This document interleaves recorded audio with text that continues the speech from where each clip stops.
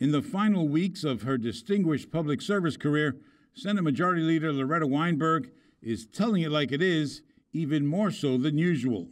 Listen, I, you know, David, I don't have a magic wand in my closet that I can wave over the NJ Transit bureaucracy, the Department of Transportation bureaucracy, to remake the bureaucracy the way I think it should be done. Her NJ Transit reform bill, which passed the Senate last week, gives some teeth and independence to the customer advocate position. The spot's been vacant for over a year. Not that commuters were missing much, say advocates. The position functioned mostly as part of the agency's public relations arm, they say, and hardly advocated for commuters.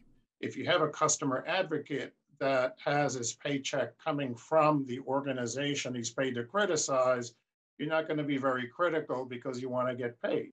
The new bill moves the Customer Advocate Office to the Department of Transportation, reporting directly to NJ Transit's board, as opposed to NJ Transit Management. They'll also be able to conduct investigations, issue reports, and testify on behalf of commuters.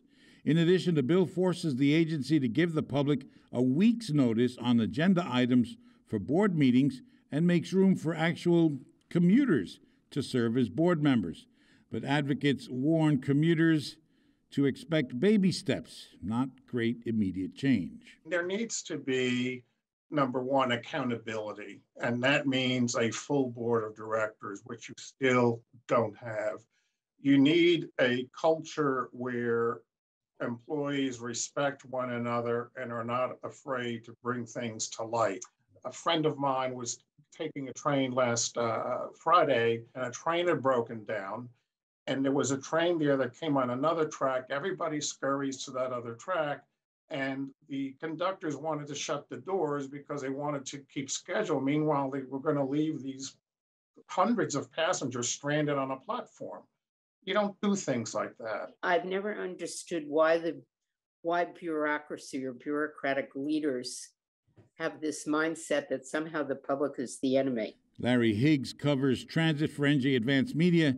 He gives the agency credit for getting into the 21st century with an app that actually works and adding a few new voices to the board. It's almost like a work in progress, which is why Loretta Weinberg called it NJ Transit Reform 2.0 to try to work out some of the issues. I mean, you know, the big issues they're going to have is when more people come back and, you know, you start seeing the issues that are part and parcel of running a commuter system. But time's running out for the bill. It's gotten through the Senate, but needs to get through the Assembly where it so far hasn't even been scheduled for committee hearing.